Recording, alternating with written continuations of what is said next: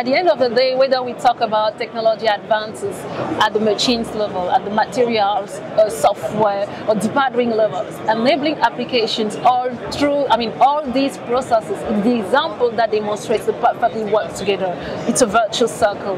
Severin, what are some of the key applications that enable, you know, AM to deliver on its promise? Yeah, thank you, Katie. I totally agree additive manufacturing really shines when all of these uh, components come together, right? Yes. That's why I think it's it's so important that we have a very broad material spectrum available to our customers, mm-hmm. and we're we've shown this with options like the 500 degrees Celsius preheating that allows our customers to use titanium alloys like Ti 6242 in our machines. But we're also introducing a new option with yes. the green wavelength laser yes. that allows our customers to build large copper parts in the TruPrint 5000. Yes. Um, like this CERN part here from the particle accelerator mm-hmm. that is a high conductivity pure copper part that was built into TruPrint 5000. Okay.